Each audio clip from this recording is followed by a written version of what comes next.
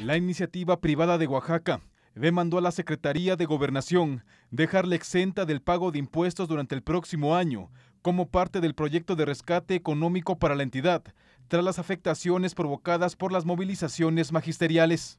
El presidente estatal de la Cámara Nacional de la Industria de la Transformación, Jesús Rodríguez Socorro, dijo que la petición le fue entregada el pasado martes al encargado de la política interna del país, Miguel Ángel Osorio Chong.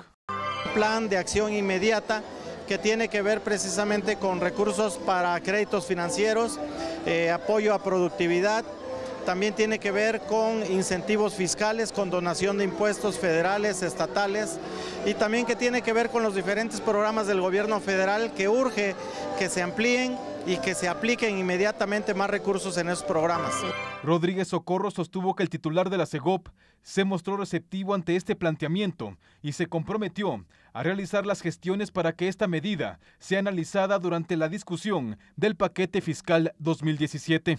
La iniciativa privada establece que la federación le exente del pago del impuesto sobre el valor agregado, del impuesto sobre la renta y también pretende que el gobierno estatal le exima del impuesto sobre la nómina y el impuesto sobre el hospedaje.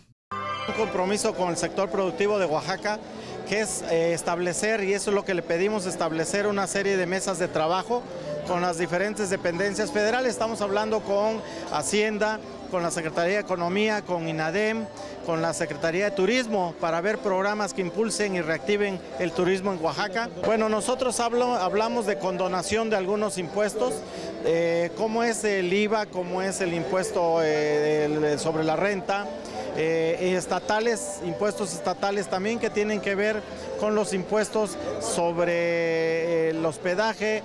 Ya la próxima, él se comprometió el secretario que la próxima semana ya se establecen las mesas de trabajo para iniciar precisamente eh, la estrategia para implementar este programa de acción inmediata de apoyo. Con imágenes de José Antonio Reyes, informó para MPM Televisión Álvaro Morales.